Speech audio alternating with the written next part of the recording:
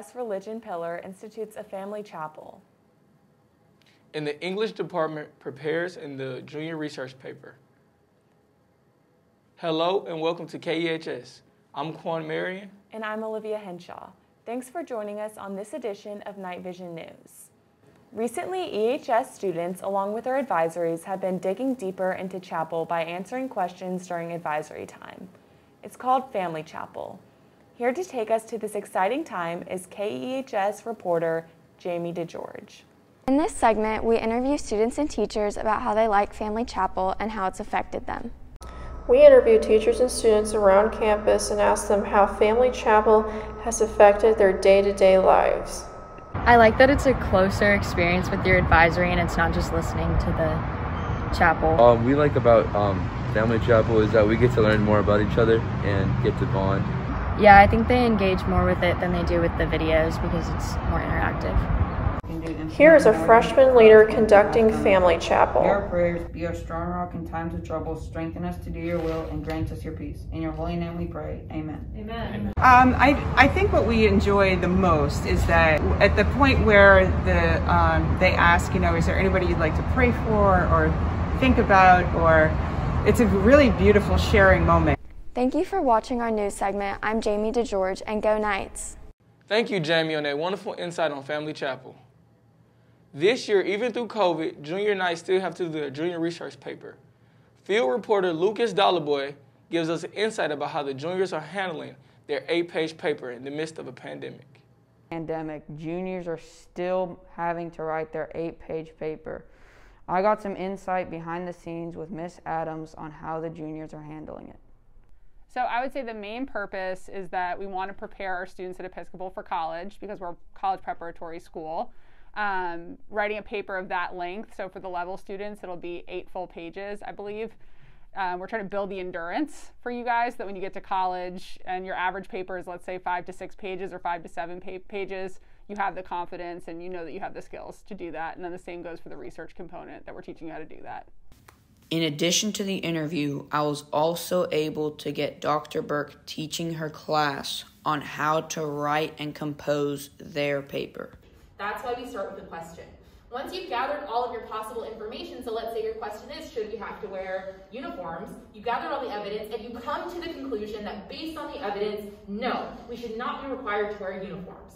All the juniors are reading the Kite Runner. Um, that's a first for us. So all of us are reading a shared text. We're going to focus and individualize um, each of your essays on a critical lens. So that's where you all will have some more agency and creativity in choosing your topic. So the juniors just started their papers coming back from winter break and they'll submit the final product the day before spring break. It's a very exciting day. So it's a little different than in a normal English classroom where it's discussion based and we maybe give just two or three prompts. So we'll definitely carve in time to conference with each individual student and serve as a guide for them when they're crafting their thesis. I'm Lucas Dollarboy reporting for KEHS News. Back to the studio. Wow, isn't it crazy that even through COVID 19, the EHS juniors represent our academic pillar strongly?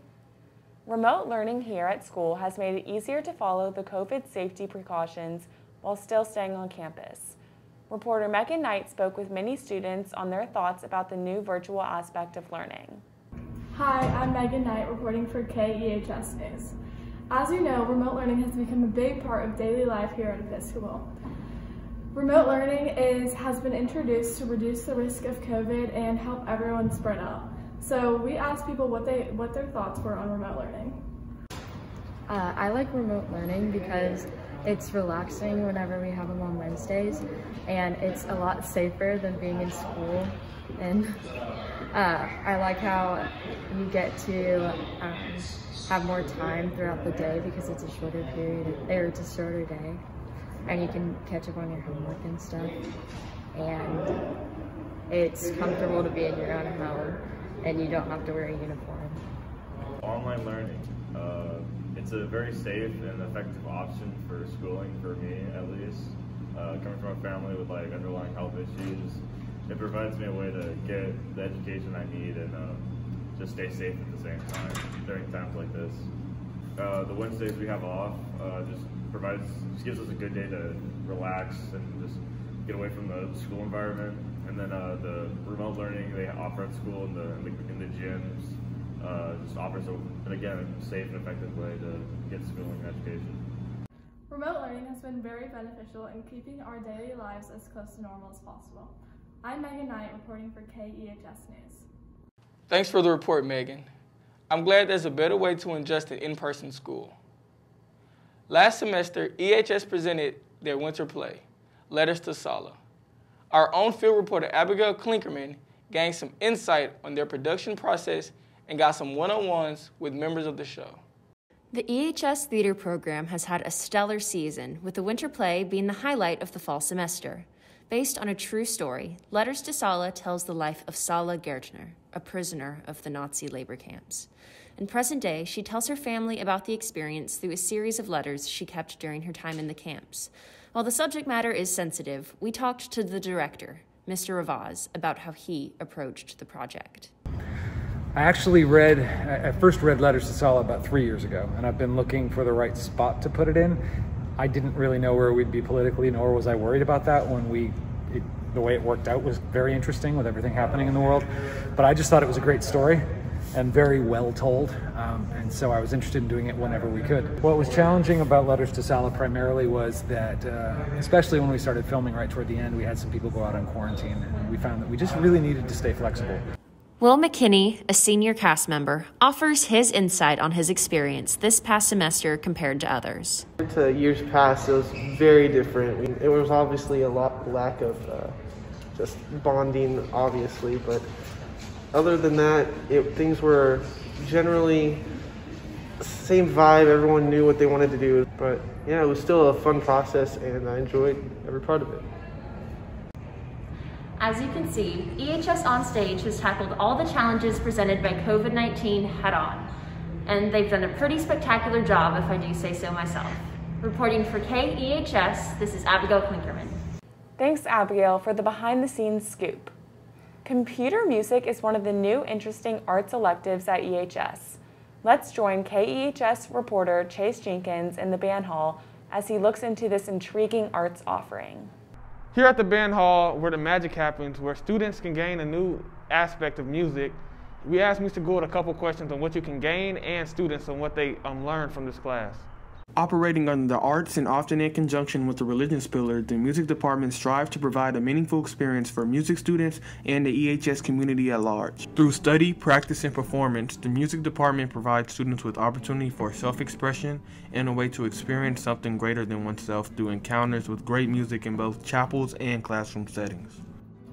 So computer music is a kind of a newer class that we have at Episcopal High School where basically, uh, the kids would call it you get to learn to make beats, but it's so much more than that. It's where you get to take your creative ideas and basically use a computer to get the music out of your head into the real world.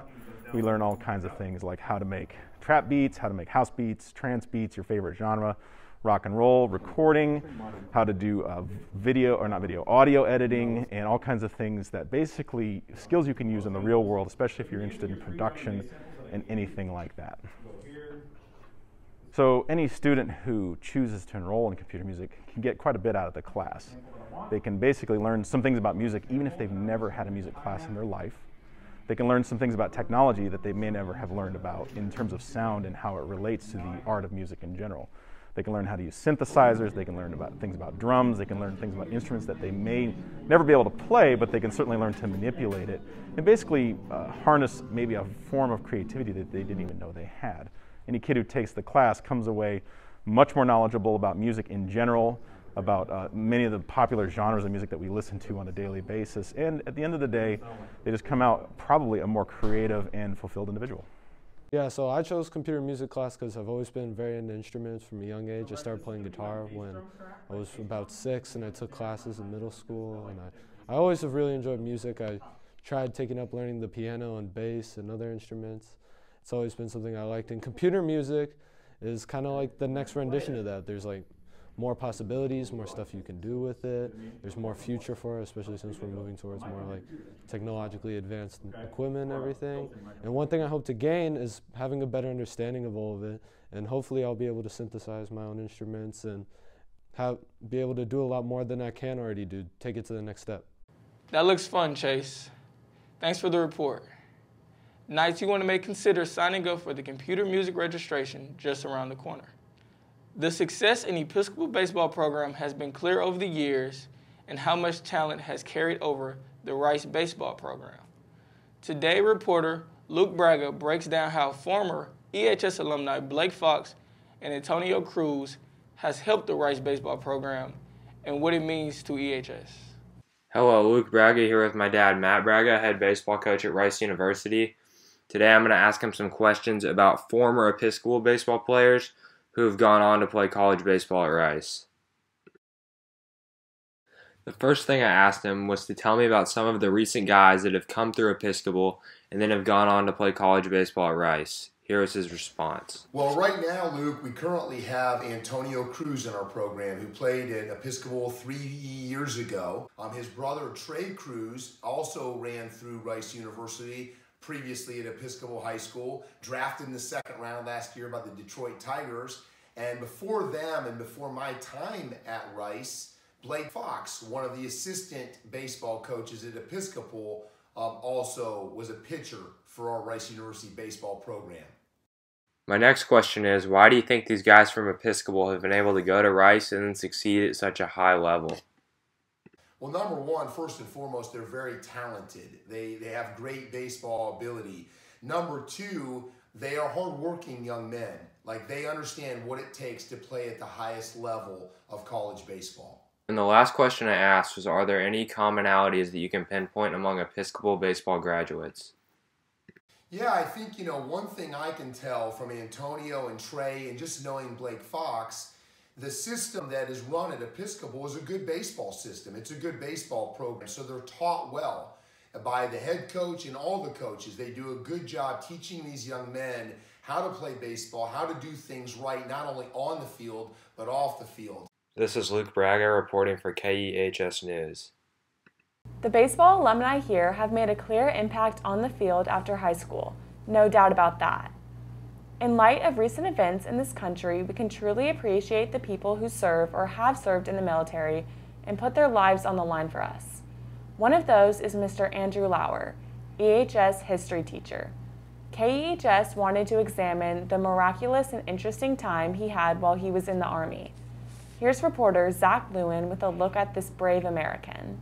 So, Mr. Lauer was in college at England and he noticed that college was very pricey and he didn't know how he was going to pay for college. So, he eventually found out about how military pays college for free and how he even earns money. He, this was ha- this happened due to the GI Bill, which was passed by Franklin D. Roosevelt in 1944, where military personnel can go to college for free after they serve and also get paid. So Mr. Lauer total spent five years in the military. He first started off with three months in Georgia at Fort Benning. Then he went to two years in North Carolina at Fort Bragg. Then two years in Kentucky at Fort Campbell. And then he spent his last nine months in Afghanistan. My job was basically demolitions. Every once in a while, I got to blow stuff up, and that was kind of fun. As a Green Beret, our primary job is ultimately teaching. I mean, uh, Afghanistan was amazing, just some of the most beautiful views that you could imagine. Afghanistan's really an incredible country. There's not really much, you know, industry, so there's not really much pollution. The skies are just insanely blue. I mean, I, I don't think I've ever seen cleaner skies. You know, I don't think getting shot at occasionally kind of put a damper on it. I found myself in my life dangling from a rope that I was harnessed to that was on the bottom side of a Black Hawk helicopter as we were flying over a national forest in North Carolina. I got to say that was cool. I had to be I've accountable never... for all sorts of, of equipment that was James Bond gadget type stuff. People are a little bit softer you know when they're when they're not in the military the military hardens you a little bit driving i didn't like it when people tailgated me and i didn't like having someone i didn't like being stuck in traffic because generally speaking you usually got hit when you were congested and slowed down. Every day. it was tough and it was challenging. And there were days that sucked in a way that you hopefully can never imagine. I'd give it an 8 out of 10 honestly. I, i'd still do it. Mr. Lauer didn't gain just money from the military. He gained patience, self defense, courage, respect, maturity, accountability, and even lots of more important things that he learns he, that he uses today. Thanks, Zachary, for that educational and interesting report about the pros and cons of being in the military. Again, thank you for keeping America safe and for your service, Mr. Lauer. Well, that's all we have this week on Knight Vision News. I'm Quan Marion. And I'm Olivia Henshaw. From all of us at KHS News, thank you for joining us. And, and go, go Knights.